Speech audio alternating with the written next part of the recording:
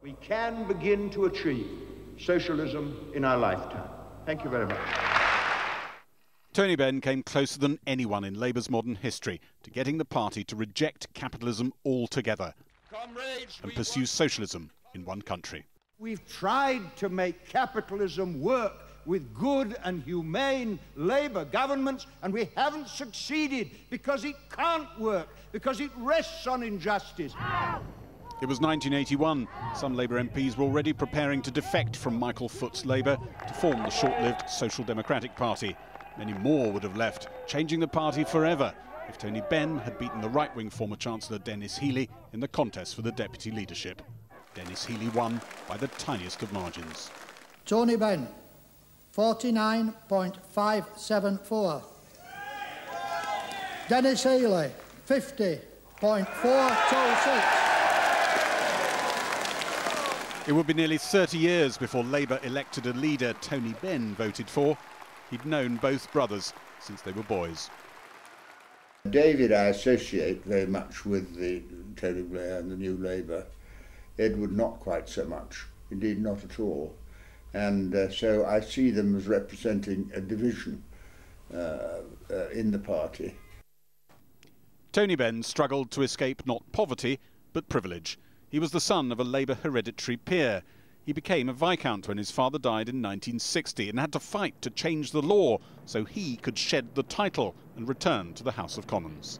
You see, the first Jew had to fight to get in, the first Catholic had to fight to get in, the first atheist had to fight to get in, and I've no doubt we shall create a precedent.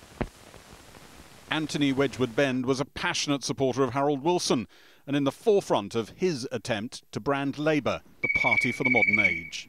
It's got an advantage which many people have uh, urged in the past. You can pick it up easily. In the 1970s, his politics moved to the left and he became plain Tony Benn. When Margaret Thatcher threw Labour into opposition in the 1979 general election, he was fully reborn as a tribune of the left. He said Labour lost elections because policies like nationalisation, nuclear disarmament and withdrawal from Europe were forever being dropped from the manifesto. I've been responsible now for five years to see the policies develop in the subcommittees, come to the executive, go to the unions for consultation, be discussed in the liaison committee with the unions, come to conference, be endorsed.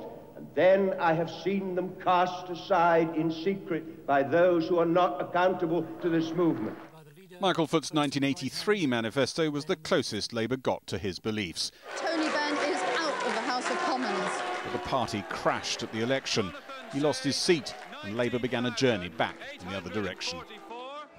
When Tony Blair was in power, he was a fixture of street protests, marching for jobs against the Iraq war, even visiting Baghdad. The first question is Does Iraq possess weapons of mass destruction? Iraq has no weapons of mass destruction whatsoever. In one of his last public appearances, he opposed military action against Syria. And I've been on this platform over many years, from the time of Suez onwards, over 50 years, and usually we've found that we have lost the battle. He published eight volumes of diaries, his basement for years a fire hazard of squirreled archive. Um, I got that idea, see, as a pilot. You sat there and you had things on all three sides and on the ceiling. So if you suddenly want to find out the date, it's easier to look there than find something else. In old age, he toured the country, pulling in the sort of audiences that might once have demonised him, but who now hungered for a politics untouched by focus groups. I was once the most dangerous man in Britain, and now I'm uh, described as a national treasure.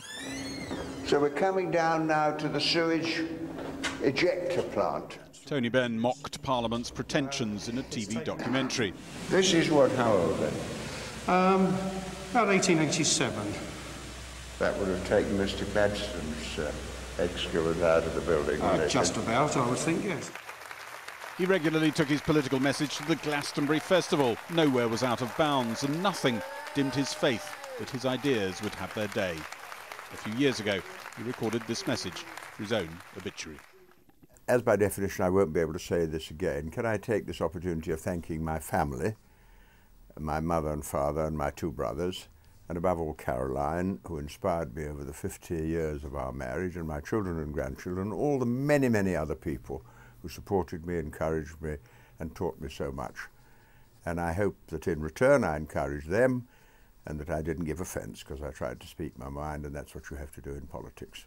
So thank you very much. Well, I'll check that on transmission.